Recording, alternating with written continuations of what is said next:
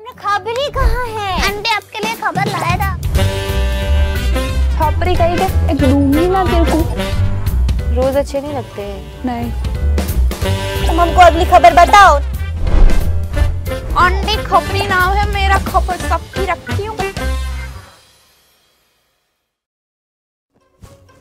नमस्कार नमस्कार, दर्शकों, आ गए का कैसन है? बढ़िया से हैं, ना मुस्कुराए से रहे हैं कि रणबीर कपूर जी ना। आलिया भट्ट को तानाशाह कहे हैं। अब का है मियाँ बीवी में तो छोटी मोटी नोक झोंक चलती रहती है तो हमको कुछ पुराने किस्सा याद आ गया था। तो फ़िलहाल ना, ऐसा का हुआ कि ऐसे बोल दिया का चल रहा। हमको तो इन दोनों की जोड़ी बहुत ही पसंद है। पहले तो हम बता दें, ऊपर से ना लड्डू बना के भी भेजे हैं आलिया को। कहना माँ बनने वाली है ना, हमने बोला कि जम कर खाओ, जम कर एकदम। तो हम तो भेज दिए थे, फिर बधाई भी दिए थे। उसको खूब आशीर्वाद दिया आने वाले बच्चे को, उसको और लड्डू भी हम बोले, खत्म होते ही फ़ोन करना, और लड्डू बना के भेजेंगे ना तुमको। अब फ़िलहाल का हुआ है, दोनों के बीच दिखाते हैं, चलिए।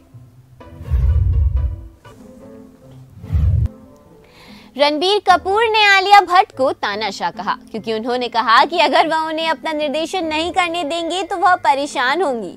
जी हाँ कुछ दिनों पहले अपनी नई रिलीज़ शमशीरा का प्रचार करते हुए रणबीर कपूर ने एक दिन एक फ़िल्म निर्देशित करने की इच्छा व्यक्त की।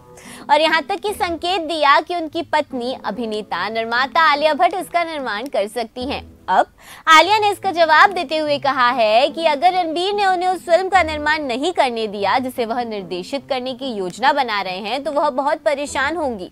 क्योंकि उन्होंने इस पर चर्चा की है।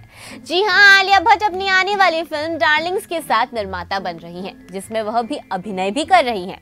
नेटफ्लिक्स फ़िल्म में शिफाली शाह और विजय वर्मा भी है। बता दें कि फ़िल्म के ट्रेलर लॉन्च के दौरान आलिया से रणबीर की एक फ़िल्म के निर्देशन के बारे में पूछा गया। तो उन्होंने कहा, हमने इस पर चर्चा की। मैंने वास्तव में उससे कहा था कि अगर आप मुझे इसे प्रोड्यूस नहीं करवाते हैं तो मैं बहुत परेशान हो जाऊँगी। मैंने उनसे कहा कि अगर आप मुझे एक अभिनेता के रूप में नहीं लेना चाहते तो ये बिल्कुल ठीक है।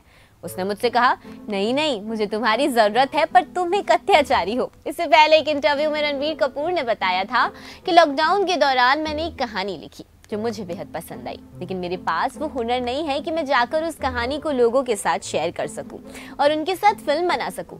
लेकिन हाँ निर्देशन प्रोडक्शन से ज़्यादा मेरी विश लिस्ट में है। खैर, मेरी पत्नी एक निर्माता है और एक बहुत अच्छी निर्माता है तो शायद वो मेरी फ़िल्म का निर्माण कर सकती है। बता दें, डार्लिंग जालिया का पहला प्रोडक्शन वेंचर है, जिसे वह अपनी कंपनी इंटरनल सनशाइन के ज़रिए सपोर्ट कर रही है। फ़िल्म का निर्माण शाहरुख खान की कंपनी रेड चिलीज एंटरटेनमेंट कर रही है। ट्रेलर लॉन्च इवेंट में आलिया ने यह भी बताया कि शाहरुख कैसे बोर्ड में आए। उन्होंने कहा, शाहरुख ने मुझसे कहा, मैं आमतौर पर सह निर्माण नहीं करता, लेकिन इसे आपके लिए, यादों के लिए करूँगा। बिल्कुल भी चिंता ना करें, बहुत मज़ा करेंगे।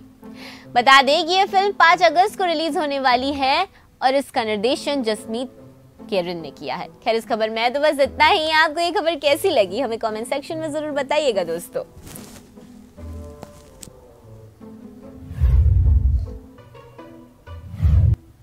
अब का है ना, दर्शकों, फ़िल्म का ट्रेलर देख के तो हम तो इतना पसंद आया ना हमको। हम तो जल्दी से वेट कर रहे हैं कि कब फ़िल्म को देखेंगे।